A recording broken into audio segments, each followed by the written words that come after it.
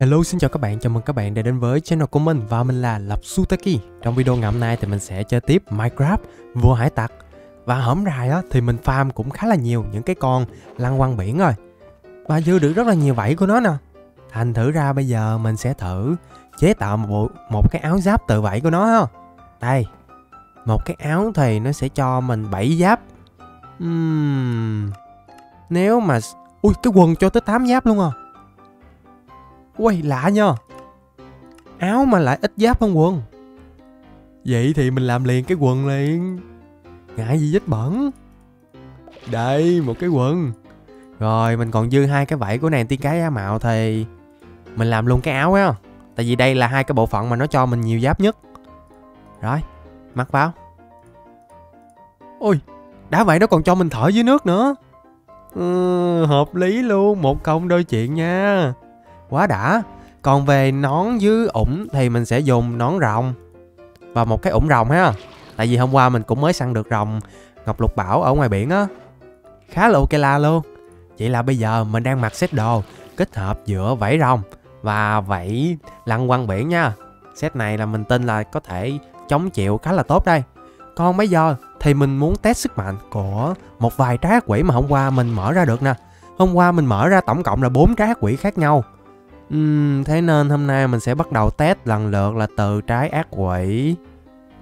Này, trái Ziki ha, mình sẽ test trái Ziki trước đi. Và để trải nghiệm năng lực của trái Ziki, Ziki này một cách nó tốt hơn á Thì mình sẽ cần khá là nhiều sắt đây. Đây, đem nhiều nhiều xíu ha. Nhiều đây chắc chưa đủ đâu. Mình sẽ lấy hết sắt luôn. Chơi lớn mà. Rồi, giờ thì tìm một nơi thích hợp để chúng ta cùng nhau ăn trái Ziki và trải nghiệm sức mạnh của nó. Ừ. Trên đường đi thì mình còn gặp bộ tộc OT nè. Ui, căng ngồi hơn, bọn chúng không biết chèo lên cây á. Để bây giờ mình tranh thủ mình ăn trái Ziki Ziki no trước cái đã. Và đây là trái ác quỷ có thể nói là kiểu sao ta? Bây giờ mình giống như cục 500 vậy á. À, chẳng hạn như đằng kia có mấy thanh niên cầm súng đúng không?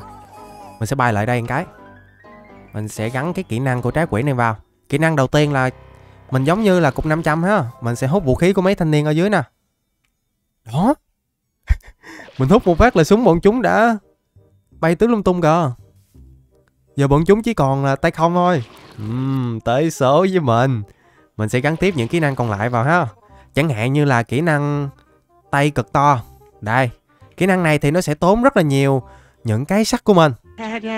Và khi kích hoạt này Mình sẽ được một cái tay siêu to khổng lồ luôn Đấm một phát là đi liền. Wow. Cái tay cực kỳ to luôn á.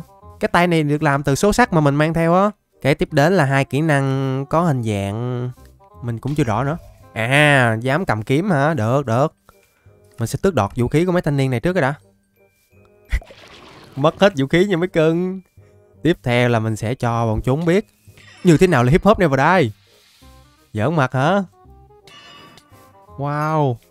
Đây rồi mình đã tìm ra được Thêm một cái trái hệ Paramecia cực kỳ mạnh ha Nhưng mà nó hơi tốn kém một xíu khi dùng thôi. Giờ thì chắc mình sẽ qua đó để mình chiến đấu với mấy thanh niên trong bộ tộc OT thử coi. Ồ, oh, một đấm của mình vẫn vẫn hạ được một tên trong bộ tộc OT ha Quá là dễ luôn. Chạy đi đâu, chạy đi đâu? Chạy đi đánh gà hả? Rồi Phía xa xa mình thấy vẫn còn hải quân kìa nhưng mà bây giờ mấy thanh niên này cũng không thành vấn đề với mình đâu. Hip hop nè vào đây. Uhm, Giờ thì mình sẽ test những cái kỹ năng còn lại của trái Ziki Zikinome này nhá Ôi. Uh. Kỹ năng tiếp theo là mình sẽ tạo ra một Một cái con bò tót bằng sắt hay sao á? Trời. Wow Mình tạo ra nguyên một cái con bò tót bằng bằng sắt luôn. Ghê thiệt. Lại cái nữa coi. Này. Nhưng mà nó mất một hồi lâu để mình có thể đề ba lên nha. Uhm. Và nó hút tới đâu á là sẽ gây được một lượng lớn sát thương tới đó luôn. Wow Một, kỹ năng mình thấy rất là xịn sò. Kìa kìa kìa, xa xa có con gà chế độ kìa. Tới số rồi, đợi mình xíu, để mình lên bò cái đã. Nó sợ nó chạy rồi kìa mình chưa kịp lên bộ sắt nữa là nó đã chạy mất rồi. Lên bộ sắt. Tới công chuyện với mình. Ta tới đây. Con con gà chơi đồ hả? Hút một cái là đi nha cưng. Đừng có mà hả, láo tét. Ôi nhưng mà Xài skill xong là nhớ quay lại lụm sắt nha. Chứ không thôi là một hồi hết sắt là hết xài skill luôn á cái nhược điểm của trái này là nó tốn sắt thôi, chứ còn lại thì mình thấy nó rất là rất là ok la luôn. Còn một kỹ năng còn lại mà mình chưa có dùng được, đó chính là kỹ năng damage, dam, damage bunk gì nè? Ui ui ui, lão tét, vô solo mình chấp hắn bật haki vũ trang lên luôn. Bước vô đây, bước vô đây. Gán chưa? Hip hop này vào đây nè. Ui, thanh niên này dùng kiếm thuật ghê vậy. Này thì ghê nè. Gặp tay to như mình là cũng đi thôi. Nữa nữa nữa lại thêm một con gà chơi đồ nữa. Mình sẽ nấp sau cái cây này. Người lại đây. Và cái kỹ năng cuối cùng của mình thì nó bắt buộc Mình phải có cái tay to trước thì nó mới dùng được ha. Để mình test thử coi. Ô! Oh. Ô oh, mình mình có thể chọn ra những quả cầu sắt nữa. Oh. Khi ở trạng thái này thì mình có thể chọn ra những quả cầu sắt liên tục luôn. Hình như nó tiêu tốn sắt trong kho đồ mình thì phải. Wow, hay đấy. Vừa có kỹ năng tấn công tầm xa mà vừa có kỹ năng đánh gần luôn. Quả thật đây là một trái quỷ. Khá là mạnh về mảng chiến đấu ha. Còn có thể tước đoạt vũ khí của cái địch nữa. Quá đỉnh nè, mấy cây súng của bọn chúng đồ mình lượm được luôn nè. Chưa để mình tắt cái kỹ năng này cái đã. Mình mới lượm được một cái cây Bazooka của cây địch nè mình có đem theo Gunpowder Gunpowder là thuốc súng nè, mình có nè. Nhưng mà mình chưa có đạn thôi. Mình không có đạn bazooka để bắn rồi. Hơi tiếc á. Và nhược điểm của trái này, Mình thấy là ngoài việc tốn sắt ra Thì cái thời gian hồi chiêu tay to khá là lâu nha. Mình mà hết tay to là xác định là mình phải đợi rất là lâu Để cho nó hồi phục lại á. Nên lúc đó là lúc mà mình yếu nhất đấy. Rồi, bây giờ thì mình sẽ test lại coi khả năng chọi quả cầu quả cầu sắt từ cái chiều cuối của mình trông như thế nào? Mình sẽ chọi thử nhá. Ui một chọi là chết một con này. Mạnh lắm. Chiều cuối có khác. Chọi phát nào là chất lượng phát đấy. Nhưng mà mình phải chăm chỉ đi lụm đạn lại nha, không thôi là không có đạn mà chọi á. Trời ơi, chọi cái bon luôn kìa.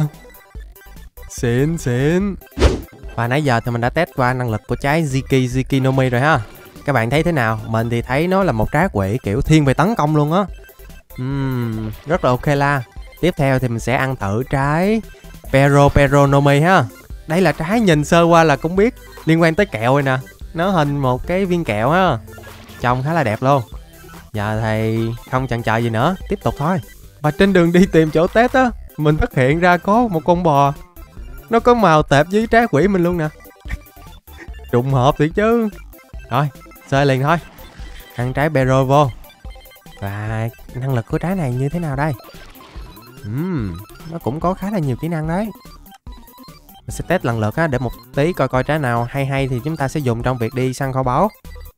Kỹ năng đầu tiên. Uhm.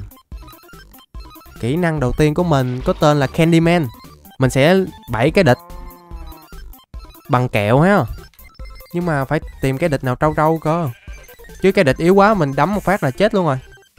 Đây, để có con quái vật nè. Con này thì nó chuyên gia đi đốt nhà, đốt thuyền của mấy thanh niên hải quân nên mình sẽ trừng trị nó, thay cho bọn hải quân ha. Ui, nhưng mà nó vẫn không chống chịu nổi một đấm của mình. Còn kỹ năng thứ hai là một cái bức tường kẹo. Wow. Ví dụ mình đánh nó lại, mình sẽ chặn bức tường kẹo để mình bao bọc mình lại, rồi sau đó mình sẽ đứng ở trong này để hồi phục ha cũng khá là hay. Ừ, còn kỹ năng thứ ba của mình là cái con đường kẹo nha. Mình sẽ bắn ra một cái cái đường kẹo ở phía trước và gây sát thương cho cái địch. Tuy nhiên thì kỹ năng này nó không được mạnh cho lắm mình thấy vậy. Ừ, ok. Và kỹ năng thứ tư. Là phiên bản giống như là nâng cấp hơn của kỹ năng thứ hai thôi. Ủa thứ ba thôi. Kỹ năng thứ ba thì nó một cái đường khá là ngắn á. Còn kỹ năng thứ tư thì nó sẽ một cái đường dài hơn và có vẻ là nó sâu hơn nữa uhm. wow ui mình phát hiện ra được cả sắt hay hay gì ở dưới ở dưới nè à không đây là quặng đồng Oh, quậy, dùng kỹ năng này để dò tìm khoáng sản cũng ok la này. Và kỹ năng cuối cùng có tên là Candy Armor. Giáp kẹo hả? Giáp kẹo. Ui. Ôi, mình được bao bọc bởi kẹo luôn nè. Nhưng mà đánh đôi lại thì mình sẽ bị làm chậm nha. Làm chậm và đào chậm luôn.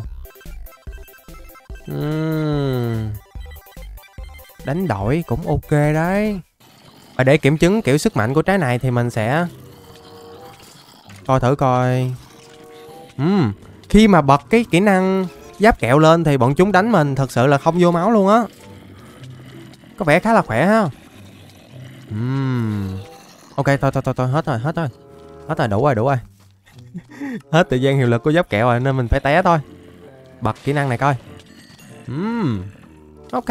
Nói chung thì sau qua, sau cái màn test trái quỷ này thì mình thấy trái Bero Beronomy cũng tương đối nha. Tuy nó không có quá vượt trội cho lắm nhưng mà ít ra nó cũng có một cái kỹ năng để giúp mình chống chịu rất là tốt. Còn bây giờ thì trở lại với cái hành trình đi săn những cái con tàu hải quân và tàu hải tặc của mình ha. Lại có thêm con lăng quăng nó cản đường mình rồi. Tới số người rồi. Xác định. Liên quan đá. Ui mình sẽ nướng con lăng quăng này trên không luôn Hip hop này vào đây nó uhm, Được á nha Ơ nhưng mà sao sao lạ nha Hình như mình bật kỹ năng chăn lửa lên thì Nó sẽ làm băng mau tan hơn hay sao á. Đúng không vậy ta? Ồ lạ thiệt. Hôm qua mình thấy băng lâu tan mà sao hôm nay băng mau tan vậy? Kỳ ghê. Còn đây là băng hải tặc. Cái bùm màu hồng à? Ồ Băng này nhìn lạ nha. Có Ồ oh, không có thanh niên nào trong này hết. Vậy mình vô mình lấy rương thôi. Ơ? Ồ cái thuyền À mình nhớ rồi, cái thuyền này hôm qua mình mới đánh chiếm Hôm nay bị làm sao ý nhờ? Mọi khi á, Mình gặp đúng nhiều tàu hải quân với tàu hải tặc luôn. Bữa nay thì ngược lại, không gặp bất kỳ một tàu hải quân. Ồ, nhưng mà nó có cái nhà của ai vậy? Ủa, sao bọn chúng combat kịch liệt ăn chổng kìa? Mình sẽ vô gấp vui một xíu. Hip hop neo và đai các thứ đồ. Gấp vui đồ. Chỗ nào đông vui là mình phải tham chiến đồ ha. Wow đây là cái nhà của ai đây? Nhìn đẹp vậy. Nhưng mà kiểu nó đóng màn nhện hết rồi. Chắc lâu quá bộ, bị bổ hoang hay sao á. Màn nhện tè le học me luôn. Còn có rương nữa. Rồi. Chắc đây là hang ổ của một con quái yêu quái nhện gì hay sao nè. Mình đoán vậy. Ở trong nó toàn là nhện thôi. Đừng con nhện nào lén phén lại đây nha. Chưa chưa để mình tranh thủ mình dọn mang nhện được chưa thấy hải tặc nào mà tốt bụng như mình luôn á. Ghé vô á anh. Động yêu quái mà còn dọn màn nhện dùm động yêu quái nữa. Quá là tốt luôn. Ờ sẵn tiện mình cày thêm sắt đi, Để mai mốt mình có dùng cái trái Ziki Zikinomi á, thì mình còn có sắt mà dùng ha. Quá là ok. Và có vẻ là trong đây chủ yếu là đồ liên quan tới nhện thôi. Uhm. Ồ, còn có kim cương à? Ồ, Thấy vậy chứ không phải vậy nha, Có vẻ ở đây cũng khá là giàu đấy. Lút lút một hồi mà nó ra cái, cái rương trái quỷ nữa còn giữ nữa nè. Biết đâu bất ngờ. Rồi Đây là tầng trên. Ủa sao quýnh nhện mình lại bị mù lọ? Ủa, Đây là nhện lạ à? À đây là nhện Nhện đá. Rồi luôn Nó đi đào đá nhiều quá cái Rốt cuộc là mình quýnh nó Xong mình bị ảnh hưởng luôn rồi. Ở sao quýnh nó xong cái mình bị mù lò Nè nè nè thấy chưa Làm gì có lò nhện nào mà mình quýnh bị mù lò Chỉ có đúng con nhện này là vậy thôi Ghê thiệt Mà mình cũng tò mò cái cục đó là cục gì nhỉ Để mình bay lên thử coi rồi, mình đã đáp ở trên này rồi nè. Earth Core. Một cái nhân gì đó. Uhm. Cái này có công dụng gì không? Ồ, mình có, có thể chế tạo được một cái Elemental Karam. Wow, cái này có vẻ hiếm nha. Bỏ túi, bỏ túi hàng hiếm là bỏ túi liền, không không không nói nhiều. Ngoài ra thì ở đây nó chỉ còn mỗi cái cái chuông là có giá trị thôi. Nên mình sẽ lấy nốt cái chuông rồi chúng ta đi chỗ khác Ý Tì tình Lo nhìn phía trước đi lọt xuống cái hang luôn chứ Ở đây mình thấy nó có giống như một cái bức tượng như này đúng không?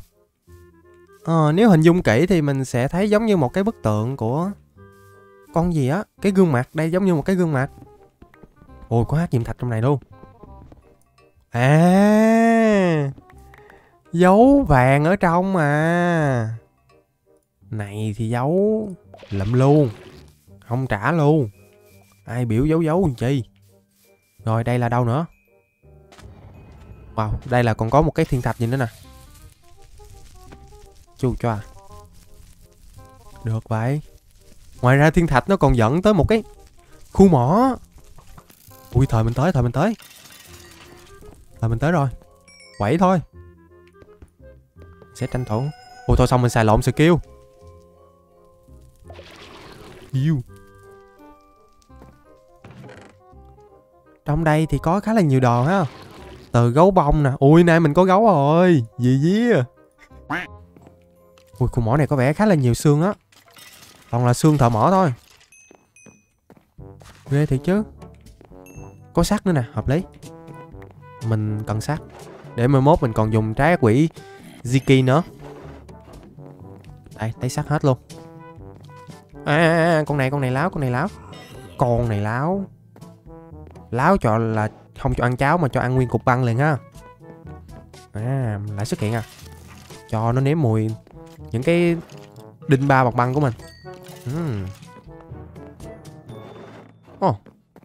Có vẻ là nó chỉ giàu được một lúc thôi Còn ở phía sau này mình thấy nó không giàu lắm nha Toàn là thuốc súng gì không à Cái gì cũng phải vừa vừa thôi chứ Đâu mà nhiều Nhiều thuốc súng dữ gì không biết Càng nói nó càng cho mình thuốc súng này Bực ghê ui, ui, ui. Đó Cái trái này nó còn nhiều khi mình muốn nhúng nước để mình Mình dập lửa mà cũng không được nè Khổ chưa? Ok cái trái Cây tới giờ, Mình muốn đi ra mà nước cái nó đóng băng hết rồi. Để mình xíu, Mình ngồi xuống thì nó sẽ không có đóng băng. Ôi nhưng mà lúc này thì nước tràn vô mình sẽ bị Oh no. Tôi muốn đi ra khỏi đây. Cho tôi đi ra, please. Cho tôi đi ra. Rồi rồi rồi rồi, ok. Được rồi được rồi. Có vẻ là cái hành trình đi tìm một cái vùng biển mới của mình nó hơi gian nan ha. Thiệt sự luôn á. Ui Đi tìm biển mà sao toàn gặp sa mạc không vậy? Là làm sao? Đây còn có bức tượng gì nữa nè. Các bạn có nghĩ là nó giấu đồ trong này không? Mình nghĩ là có đó. Ồ Thiệt sự nó giấu. Nó giấu một khối ngọc lục bảo. Uhm, Cỡ gài mình đa nghi chuẩn ấy nhờ. Còn giấu gì nữa không À hết dấu rồi. Uhm, Này thì dấu ngọc lục bảo hả? Bỏ túi tiếp liền. À, Tiếp theo là hình như một cái Một cái kim tự tháp. Wow. Đó giờ các bạn thấy kim tự tháp bằng băng chưa? Nếu chưa thì bây giờ mình sẽ cho các bạn chứng kiến một cái Kim tự tháp bằng băng mới toanh luôn nha. Phiên bản là do mình tự xây Trong uh, 3 giây nè 1, 2, 3 uhm, Kim tự tháp bằng băng có liền. Rất là nhanh thôi. Tiếp theo thì mình sẽ xuống dưới. Ồ, oh, ở dưới vẫn còn rương nguyên vẹn nha. Không ảnh hưởng rương ở dưới luôn. Và trong này sẽ có một ít đồ. Nói chung thì cũng không có Quá nhiều đặc biệt. Hmm. Bạc với đồng đâu nè Ồ, oh, kim tự tháp có vẻ là hơi bèo á. Nhưng mà được cái nó cho mình cái bình kia thì một tí mình sẽ test cho. Cái bình uh, Infusion này nè. Cái này khá là hay nha. Mỗi khi mình dùng cái bình này thì mình sẽ được tăng thêm một trái tim. Uhm, Lên trái tim liền. Mình đã có được 58 trái tim rồi. Quá là nhiều luôn. Mà phải công nhận là cái tầm ảnh hưởng của cái kỹ năng Dùng đất Dùng đất băng giá của mình nó rộng thiệt chứ từ chỗ kim tự tháp tới đây mà nó vẫn còn bị ảnh hưởng nè. Quá là ghê gớm luôn. Rồi bên đây còn có cái công trình gì nữa nè. Sao bữa nay mình đi tìm vùng biển mà, Chứ đâu phải tìm sa mạc đâu. Cho tôi gặp Cái vùng biển đi. Trời đất ơi. Ê cái gì á, cái Cho cho cho cho cho. Dùng đất bắn giá. Này, tôi con ngồng lao tét. Con ngồng lao tét. Mình sẽ cho nó ăn nguyên quả cầu băng của mình. Quả cầu băng rớt xuống nó đi. Này thì gồng nè. Dính nguyên hết quả cầu băng nha cưng Mình sẽ cho nó nếm mùi chân lửa của mình nữa. Chút nó lên trời luôn. Này thì rồng U là trời, mình đang cất đồ. Lợi nó nó cắn mình à. Ui, nữa nữa nữa nữa. Gì quay ai Dùng đất băng nè. Rồi sau đó mình sẽ cho nó ăn nguyên quả cầu băng của mình mới được.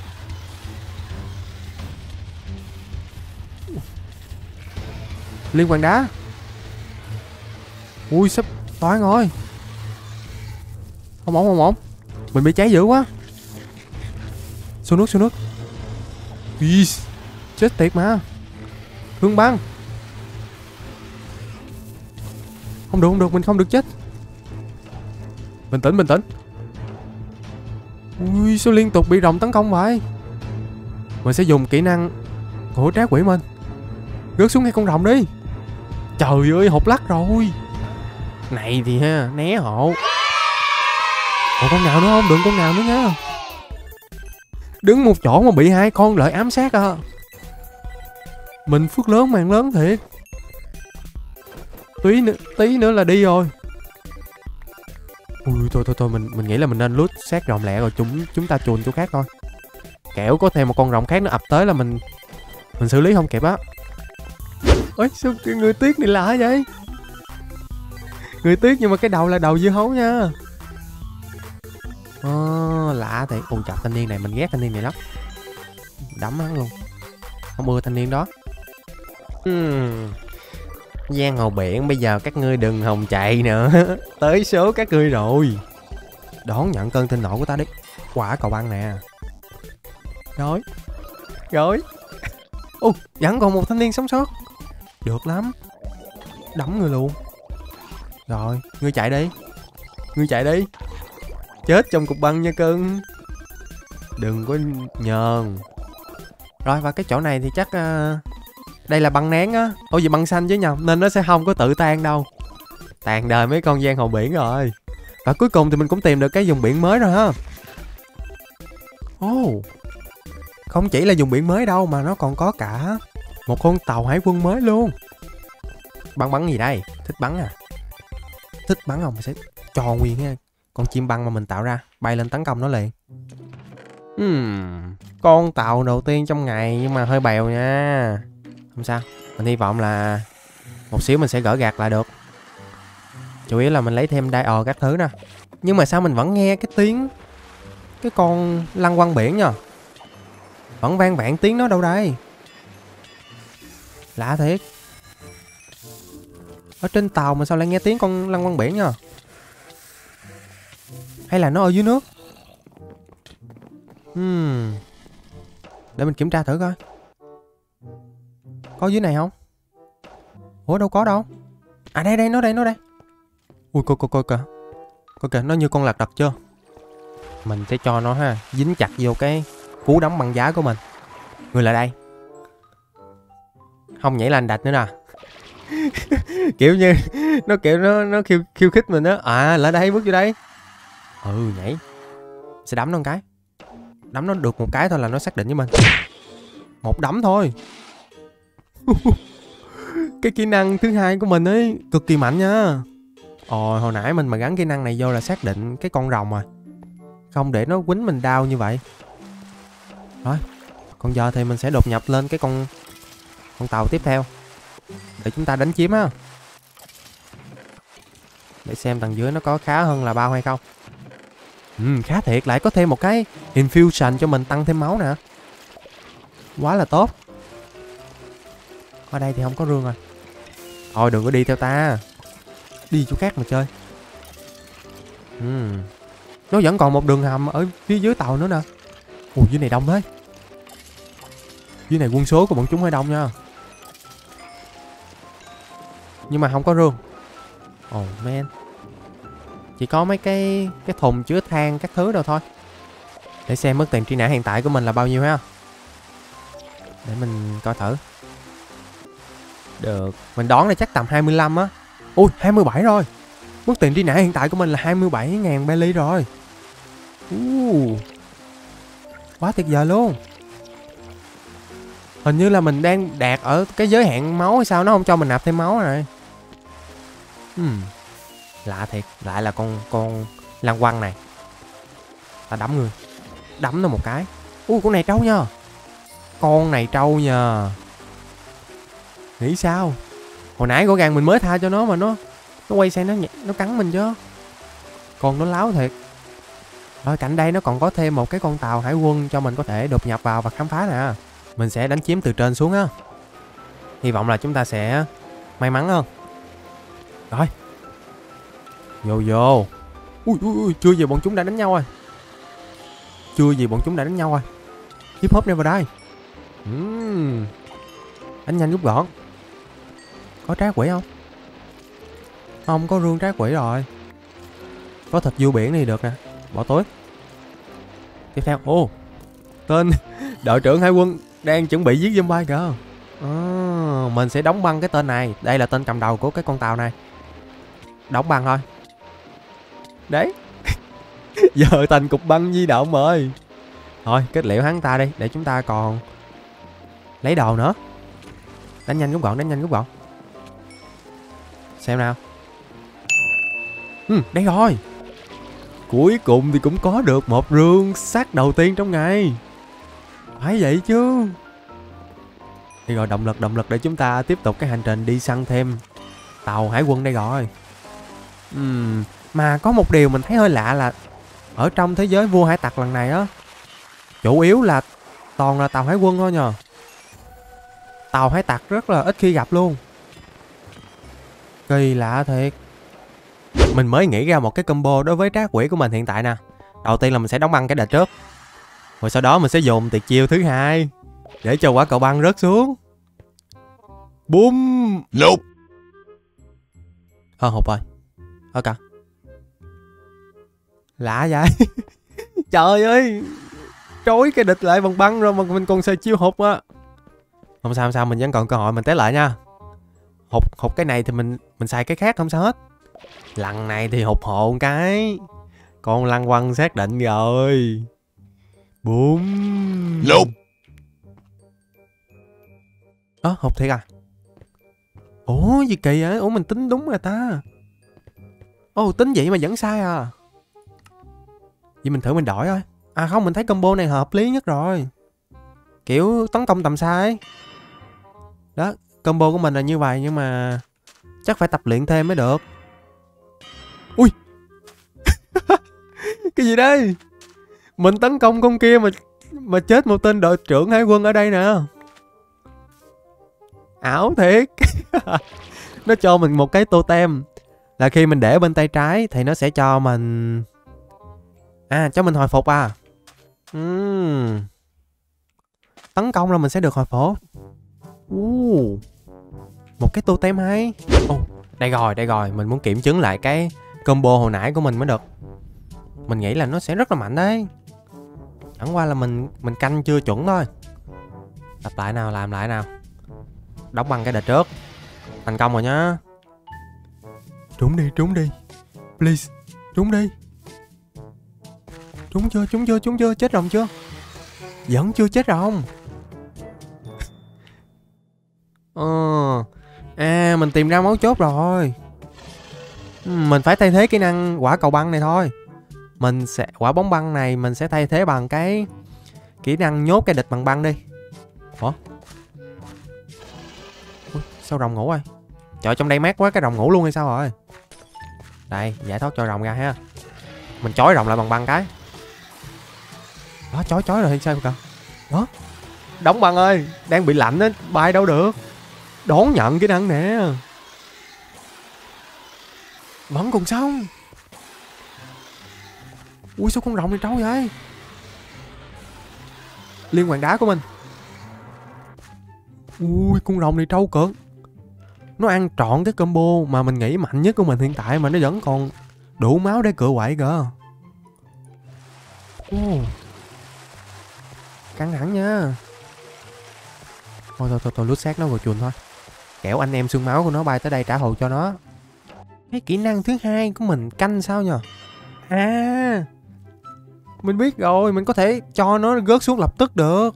Trời ơi, vậy mà nãy giờ mình đợi à. Hiểu luôn. Biết combo rồi. Mình nhắm xong là mình sẽ cho nó rớt xuống liền á, ví dụ ngay đó. Rồi, rớt xuống đi. Đấy, tuy nó hơi bé một xíu nhưng mà ít ra nó sẽ dễ trúng hơn á. Còn mình dẫn sức lâu đúng là nó to thiệt nhưng mà xác suất kẻ địch chạy khỏi cái tầm mà mình tấn công thì rất là cao luôn. Ê, ẩu ẩu ẩu ẩu đó giang hồ biển. Người hề ẩu rồi đó. Đi chỗ khác mình chơi nha. Đi chỗ khác mình chơi. Ui, có tên cầm linh ba. Ê, ui ui tôi ẩu tôi ẩu rồi, bạn bạn là nhất. Ui ui trời Ui hên là mình xài cái thuộc xuồng bự nó chọi cái không bể được. Chứ dòng mà mình xài xuồng nhỏ là kiểu gì nó chọi chả bể tưởng nào chọi đi. Ừ. lúc nãy thì mình chỉ mới test năng lực uh, trái Ziki này ở trên mặt đất thôi chưa có mang ra biển để quẩy á. Mình muốn chúng ta sẽ thử cùng nhau đi quẩy một một lúc ở trên biển á. Mà quên ta. Cái trái này mình kích hoạt lên cái mình có cái tay to mà quên quên mất. Cứ cầm rìu ra chọt chọt hoài. Và nó còn có một cái rương gỗ nữa. Ô oh, đây là lần đầu tiên mình lút được một trái quỷ trong một cái con tàu hải tặc nhỏ nha. Vậy mà mình cứ tưởng tàu hải tặc nhỏ. À, Sao như kỳ cục vậy giang hồ biển? Hả? Thấy tài tao À hai tên luôn. Rồi rồi còn còn tên này lên nốt luôn đi. Còn tên này nè lên nốt luôn. Lên đi lên đây lên đây lên đây. Lên trên kia. Leo lên. À không leo à? Tưởng ngươi mà leo lên là giống như thanh niên này nè. Ăn một đấm nha. Ăn một đấm là đi nha. Đừng có lén phén lên thuyền của ta. Mới lút được cái rương trái quỷ nên tạm thời tha cho hai người đó. Tay to như vậy mà mấy thanh niên không sợ tới. Ồ, và nó có hai rương trái quỷ luôn. Ủa, mà sao không thấy hải quân, hải tặc gì trong đây hết nhờ? Ừ vô lý vậy ta. Ui, đã vậy còn bị cháy nữa. Thôi, mình nghĩ là mình nên té thôi. Mình gắn cái kỹ năng tước đoạt vũ khí cái đã. Trước mặt mình đang có một cái tàu hải quân tiếp theo kìa cạnh cái tàu bất ổn hồi nãy á. Để coi coi tàu này thì có hiện tượng lạ giống như hồi nãy hay không nha. Ôi, con tàu này có vẻ khác rồi. Con tàu này có hải quân với hải tặc rồi.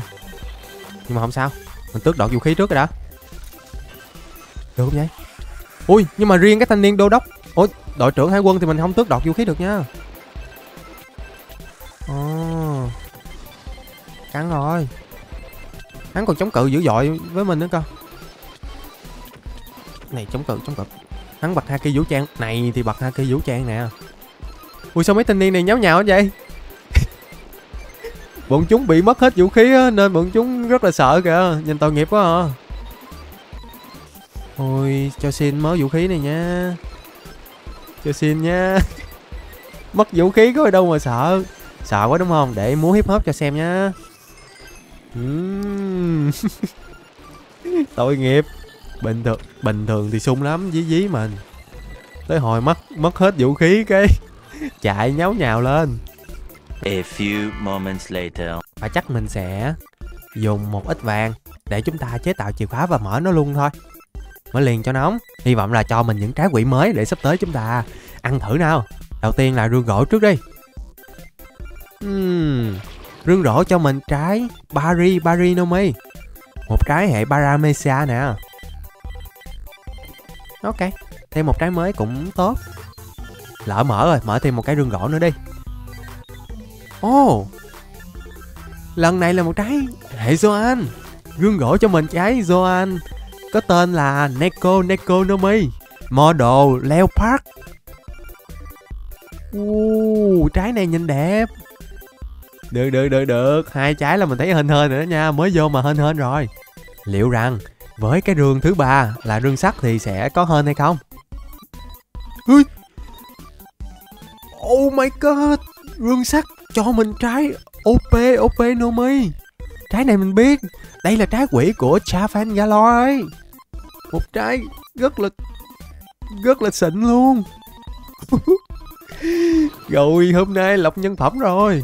Và cái rương cuối cùng cho mình trái gì đây? Doru Doru, Nomi lại là một trái hệ Paramecia tiếp. Hôm nay vẫn giống như hôm qua là mình mở bốn rương và đều ra bốn trái quỷ khác nhau nha. Uhm, đủ đủ các loại màu luôn. Xịn thiệt chứ. Hên rồi, hên rồi. Và trong thời gian sắp tới mình sẽ lần lượt trải nghiệm từng trái quỷ hết để chúng ta có thể chinh phục những cái con tàu hải quân và hải tặc tiếp theo.